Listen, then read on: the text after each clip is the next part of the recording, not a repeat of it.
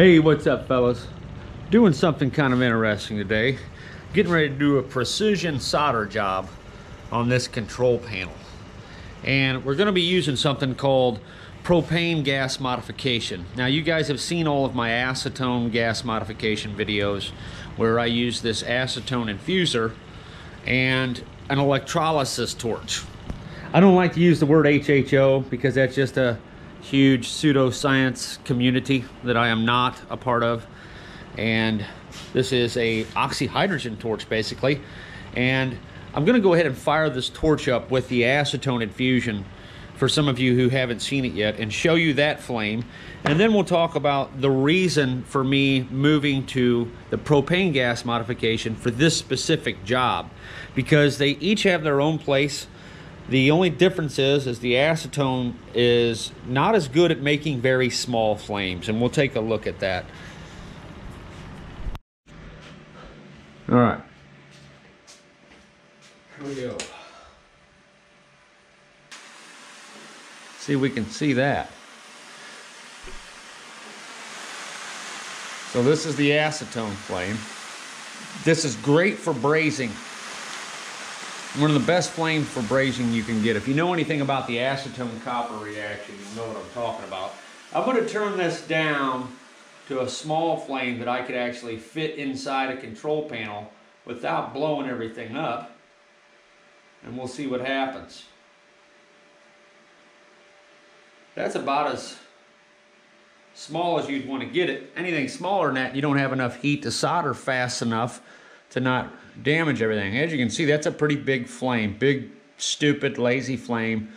So the acetone just isn't suitable for the job we're about to pull off here. You want to start off with propane for sure. That removes the possibility of a flashback pretty quick. Okay, so that's about how much propane I want to use for this process.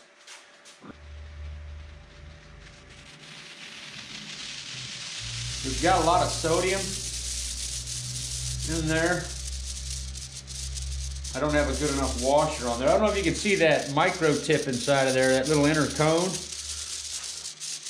It's usually not this yellow. We have got a lot of sodium and we're not able to see that inner cone. You may be a pastor and you think, well, now study behind anybody's name and make them adequate to do the work God's called them to do. I'm to turn this down a little bit more even. Some of the features of this flame.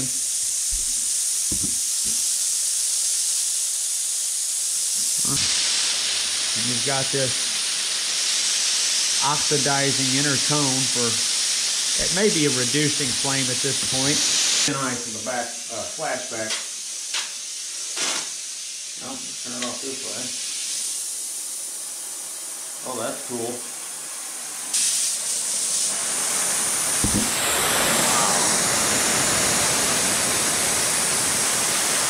That right there is like a 15 amp turbo flame.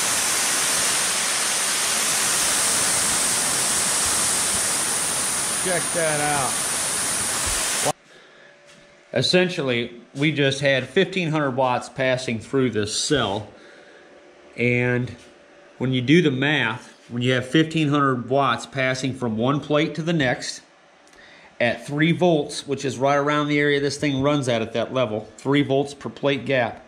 That comes out to 520 amps of Faraday power we had being put to work doing electrolysis. Even though we're only putting 20 amps AC into the diode array, this thing acts like an electrochemical transformer. A lot of people have disputed this claim that I've made and say that I don't know what I'm talking about, but I assure you, based on my experience with making single cell electrolysis systems, that there is definitely 520 amps worth of electrolysis power taking place in this dry cell. That is why these things are so effective. That's why they're so much better than wet cells because of the ability to act like a transformer. They're just like a battery. When you put a bunch of cells together in a battery to equal the voltage that you're using, um, a car battery This battery right here is essentially the same thing. That's a 600 amp battery right there. So to say that, um, and it's only 1.2 volts per plate gap, but yet in between every plate, 600 amps must pass to deliver the wattage that these things are rated at. So that's just one of the interesting attributes. I'm going to shut up and get back to the subject now, and we'll hook up a smaller tip. And uh, I just wanted to show you that that flame we were just looking at was 520 amps of electricity at 3 volts. Okay, I've got another tip hooked up. Try this again.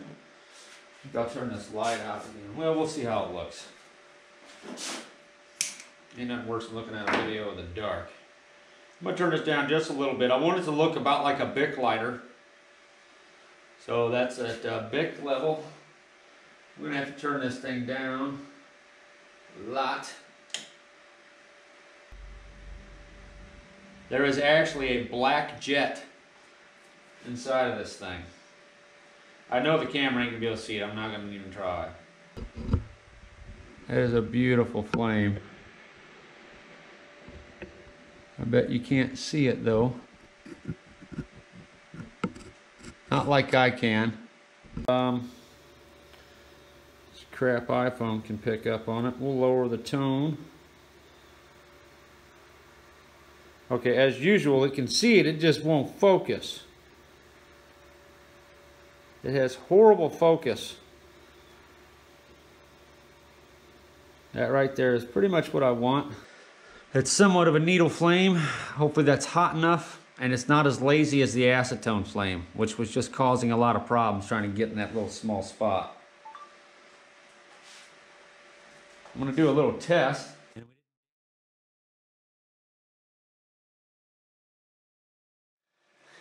No damage to the wood below.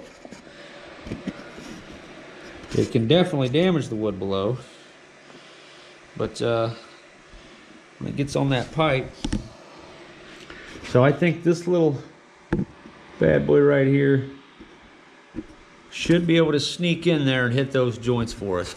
Okay, here we go. I'm gonna show you one, and then I gotta get you out of here. I gotta get this job done. You gotta go. Here we go. I'm gonna go in, get this thing hot and soldered as quick as I can. We're on the bottom, we're heating it up.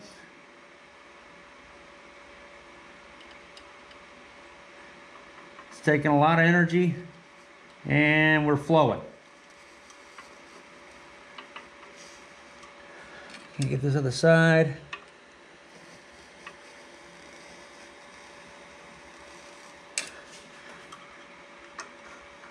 Okay, I think it's all the way around. While the heat's traveling, we're gonna go to the top. We've got quite a bit of time. Man, she's flowing like water here. So we got plenty of heat on this little flame because of this process. We're able to get in there and we're able to add heat and we're able to take it away the second we want that solder to stiffen up. I'm gonna cool everything down, wash the flux off.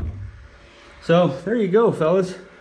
This little turbo flame right here is a beast. I know it's small, but the amount of power that's packed into this thing, right now we're pulling five amps out of the wall. So, and we've got a little bit of propane added in there with it. Let's um, take a look at the flame. Let me show you how much propane is in this mix. I'm not gonna show you how much hydrogen and oxygen is in this because I'll explode. So I'm gonna turn off that. And we're going to go to just the propane now. Boy, is that getting scary. Just adding a very small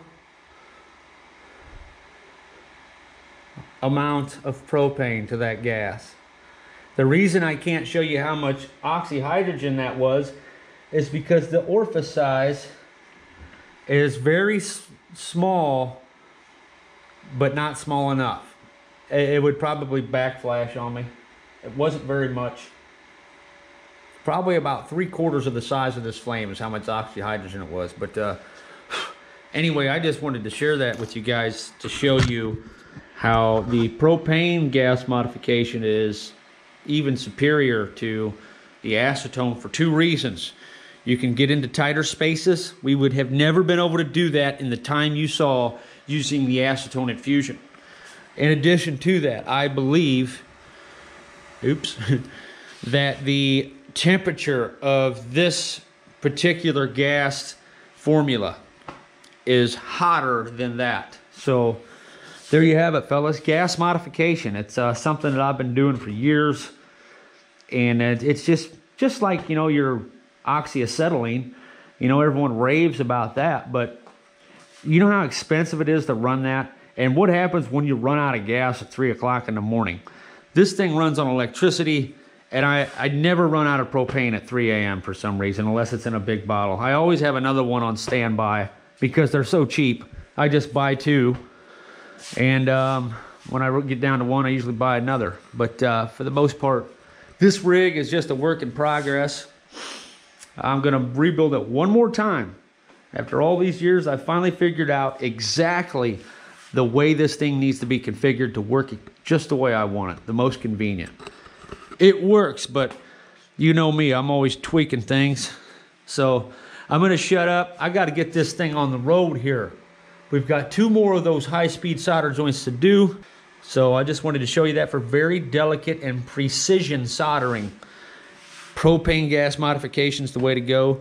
Um, I don't know how hard it is to hook a torch this small up to an oxyhydrogen tank, but I can imagine, or I mean a oxyacetylene setup, but I'm pretty sure it's not very cheap. I think the regulator alone is like 200 bucks.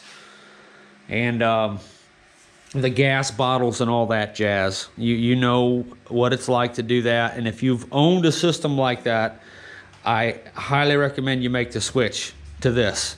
It's so much better than using acetylene and oxygen because typically when you're doing work that's that small, think about it. Do you really need the extra beef of the acetylene? If it's a small flame, you're doing a small job which requires a little bit of heat. Acetylene is for those big jobs. It really is. You really do not need acetylene for a small job. So why people aren't just using propane on these small torches, it Maybe I've just never used acetylene on a small torch and I don't know what I'm talking about, but I can cut steel with this. So if you can cut steel, I think you're about as hot as you need to be. How much hotter could you need it to be? Okay, so we're in, we're out, we're done. The job was a success. Maybe not the prettiest thing you've ever seen, but it won't leak. Now what we're going to do is work on these flare connections and we are done, dude. We're connected. I left this whole thing springy the way I have. You see how I got these loops in the, um, the coils? See here, we've got a big old loop that comes down. The purpose for that is so this thing's somewhat spring-loaded. I'll be able to press this down in place now. Let me get you zoomed back in. We'll be able to press that in place but yet I can still pull it out and get wrenches in here to fix stuff. It's not the prettiest technique, but um, if you've ever chopped open a human body, man, is it a disaster. There's just stuff strewn all over the place. You may be a pastor and you think, well, now I study and I pray and, and God gives me a message and I just get up and tell it. And you ignore the Holy Spirit. You're not relying upon Him for wisdom. You're not relying upon Him for courage. You're not relying upon Him for inspiration. You're not relying upon Him for motivation. You're not relying upon Him for interpretation. You're not relying upon Him for power. You're not relying upon Him for authority. You cannot do what God has called you to do the way He intends for you to do it apart from the Holy Spirit. That's who He is. That's why He came. There's no substitute for the Holy Spirit. You can't put enough PhDs, THDs, RFDs, any other kind of Ds behind anybody's name and make them adequate to do the work God's called them to do.